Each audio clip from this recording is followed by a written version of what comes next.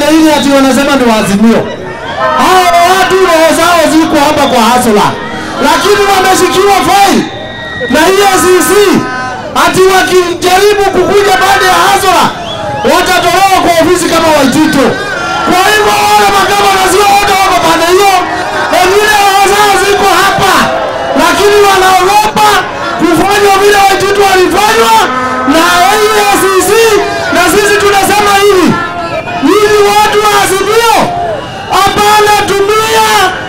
statement za serikali za kupigana na ukoa kwa kufanya kampeni ya Azimio,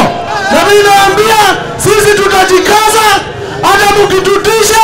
hata mkituteza namna gani